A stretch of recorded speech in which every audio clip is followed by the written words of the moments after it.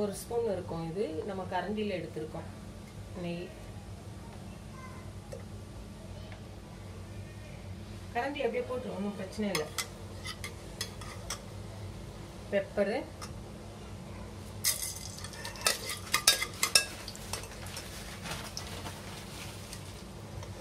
சீரகம்.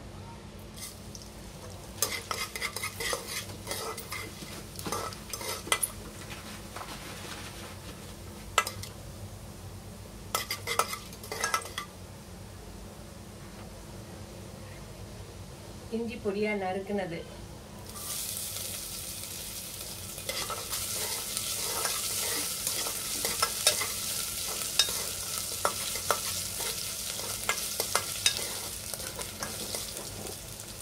இது வதங்குறதுக்குள்ள ஒரு பிடி சிறுபருப்பு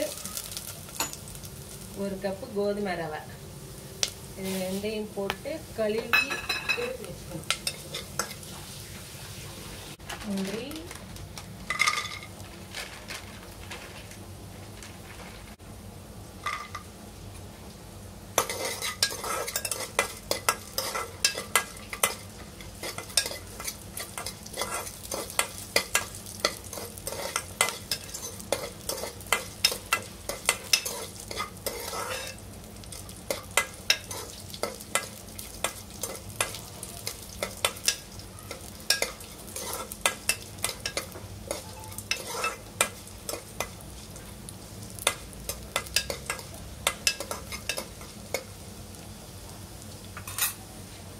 இது கழுவி எடுத்துக்கிட்டது.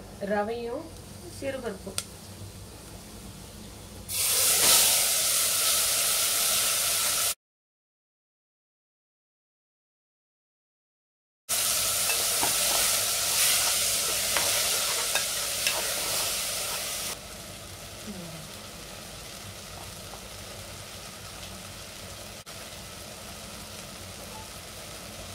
இந்த கப்பில் ரெண்டு கப்பு ஊற்றுறோம் இந்த கப்பில் தான் நாங்கள் ரவை எடுத்தோம்? கோதுமை ரவை. அதனால் இதே கப்பு.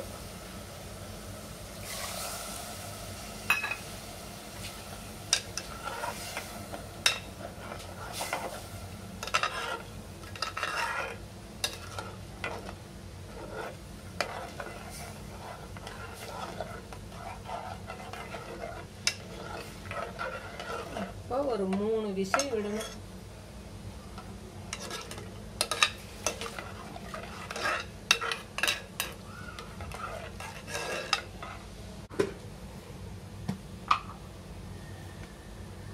சின்ன ஸ்பூனு இதில் ஒரு ஸ்பூன் போட்டிருக்கேன்.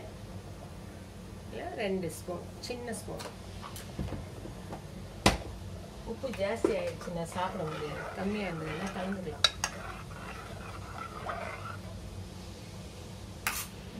எடுத்து மூடிட்டோம் எடுத்து